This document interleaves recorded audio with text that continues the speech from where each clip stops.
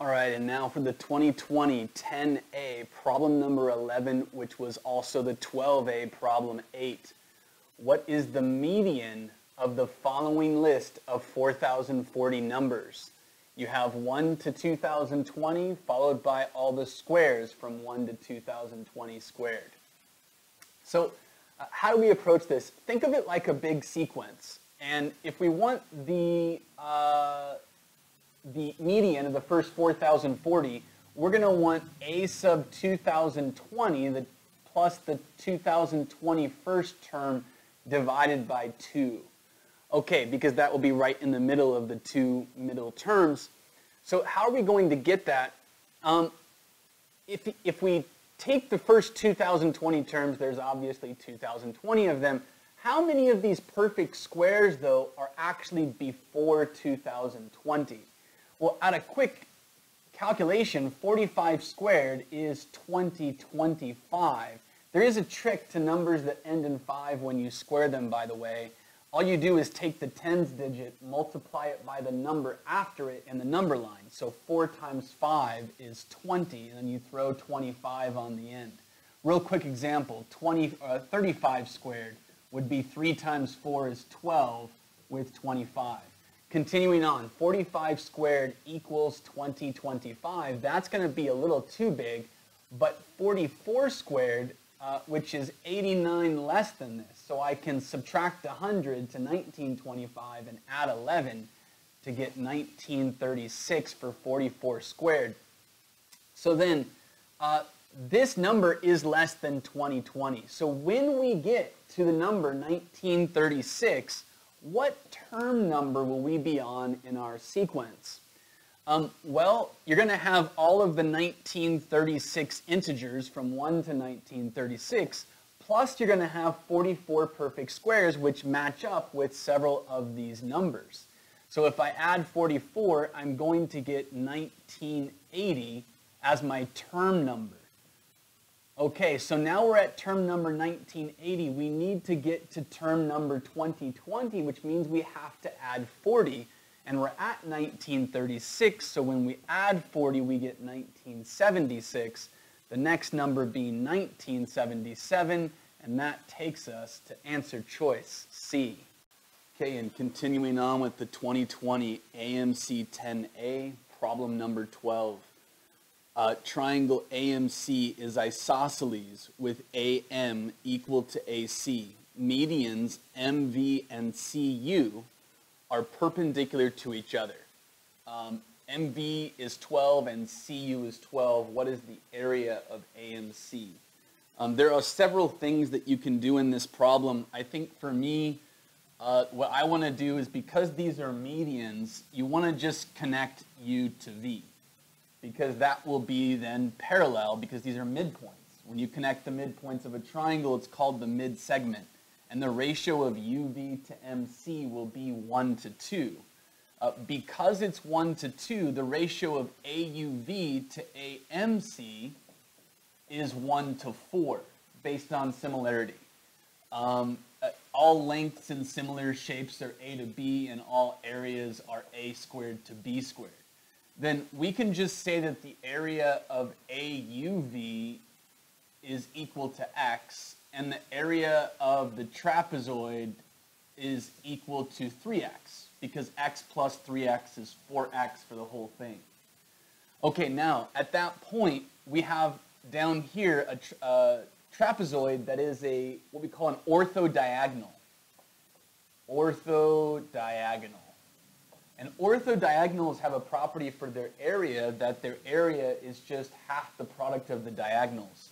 So you can do half times d1 times d2, and since both of our diagonals are 12, this comes out to 72, which means 3x is 72, one third of which is 24, and then you will add 24 here. The whole thing will then have area 96.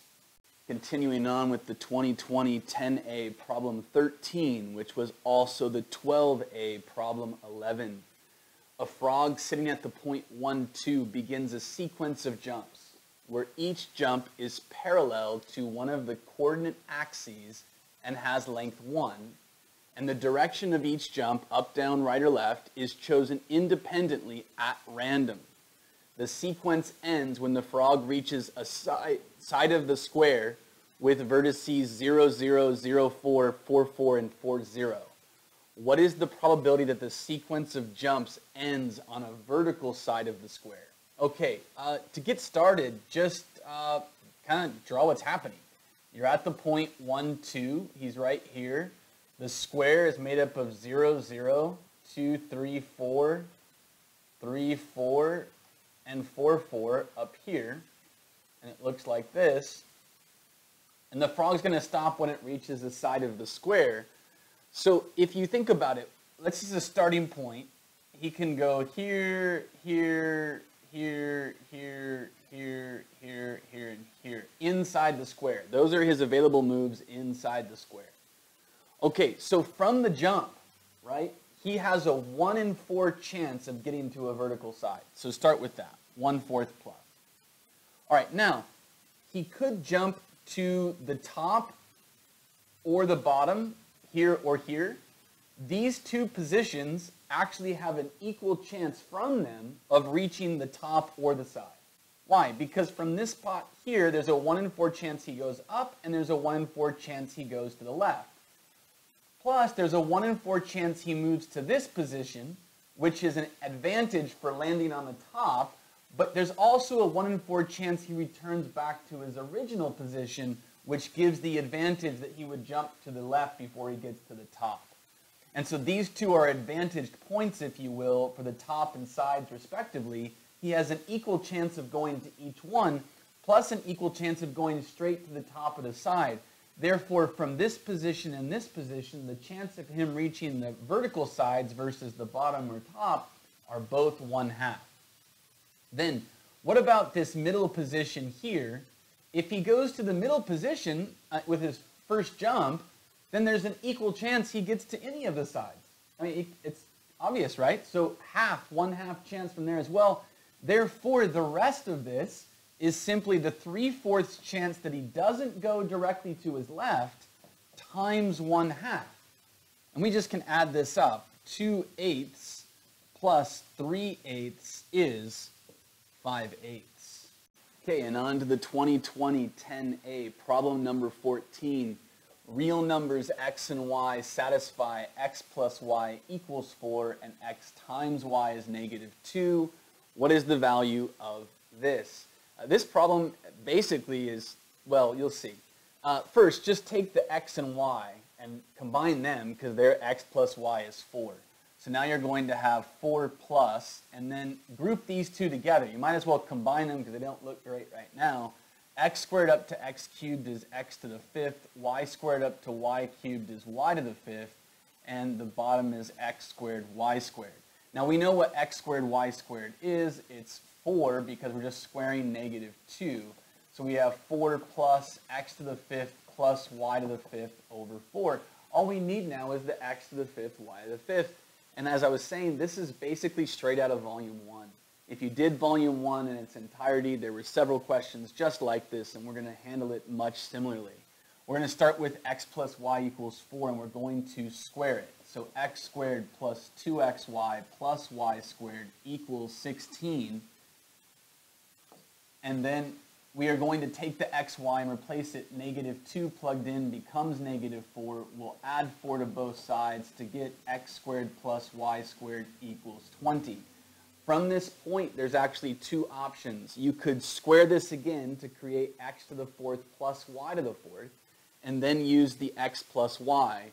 Um, the other option is that we can do x cubed plus y cubed and just cube the original expression. Uh, I think I'm going to go with the x cubed plus y cubed. So you get uh, x cubed plus 3x squared y plus 3xy squared plus y cubed is equal to 4 cubed, which is 64. Next, we've got 3x squared y and 3xy squared. It's going to be 3xy times y plus x. Just by grouping these two middle terms and factoring only out of them, ignoring the x cubed and y cubed. And the reason for that is we want the x cubed plus y cubed, and these we know the value of. So y plus x is 4, xy is negative 2 times 3. Negative 6 times 4 is negative 24. We add 24 to both sides, and now we created a new piece. x cubed plus y cubed is equal to 88. Now we're just going to multiply these two expressions together. So x cubed plus y cubed times x squared plus y squared equals uh, 88 times 20. Okay, distributing x to the fifth plus x cubed y squared plus x squared y cubed plus y to the fifth equals 88 times 20. I don't recommend multiplying things like this unless you have to. You can usually find a shortcut. Um, then factor out the x squared y squared. x to the fifth plus x squared y squared times x plus y plus y to the fifth equals that expression. x squared y squared is still 4. x plus y is still 4. That's 16. Subtract 16 from both sides. Now, this is x to the fifth plus y to the fifth, which we can place right here. And we're going to have 4 plus this expression, but it's divided by 4. I can put the 4 into the 88 to get 22 times 20 and into the 16 to get minus 4. Simply cancel these. 2 times 22 is 44. Tack on the 0. The answer is 440. Okay, and on to the 2020 10A problem 15, the last problem of this set a positive integer divisor of 12 factorial is chosen at random. Right away, we're going to need to know how many divisors 12 factorial has. We'll get to that. The probability that the divisor chosen is a perfect square can be expressed as whatever after that. Some expression. Find it. That's what you want to do, and then worry about the relatively prime stuff later. Okay, so uh, how many divisors does 12 factorial have? Um, we're going to need to know how many primes it has or the prime factorization of it. Um, the way that we do that is we're just going to take 12 and 12 factorial will have a number of factors of 2 where you can divide by 2 and round down. That gives you every even number. Plus you can divide by 4 and round down. That gives you every multiple of 4 because it's going to contribute an additional power of 2. And then lastly, 12 divided by 8 rounded down. You don't need to do 12 divided by 16 because there are no factors of 16. The reason we're doing this is because 8 contributes an additional 2. Add this up and you start off with 2 to the 10th.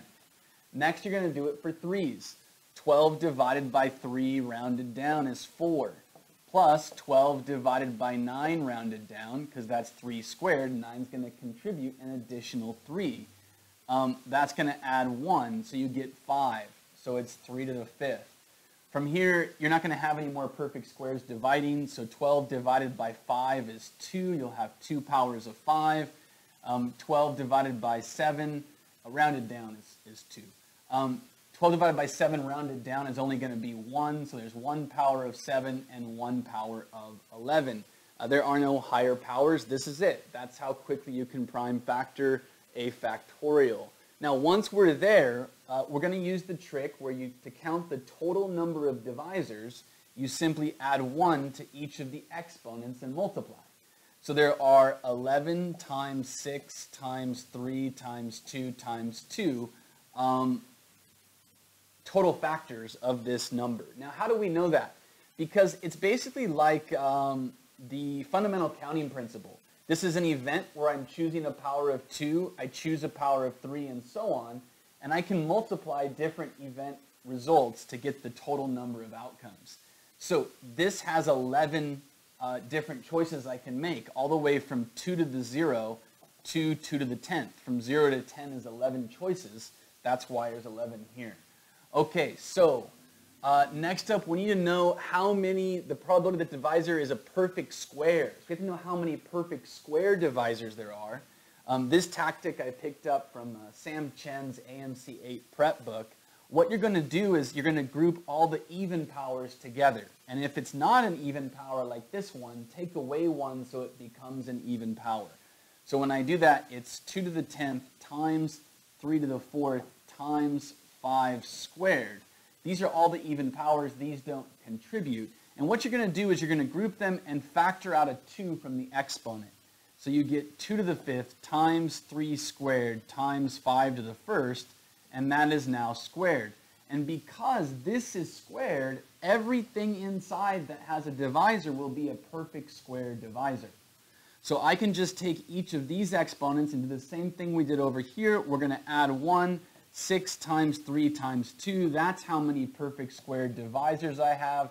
Again, there's a reason you don't multiply things, because cancellation is nice. 1 over 22 is the answer, and it wants to know, are m and n relatively prime? They absolutely are. Um, what is m plus n? 1 plus 22 is 23.